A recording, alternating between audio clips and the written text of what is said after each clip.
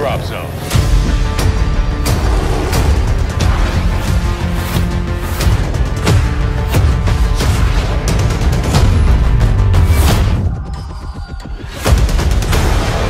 Locked and loaded.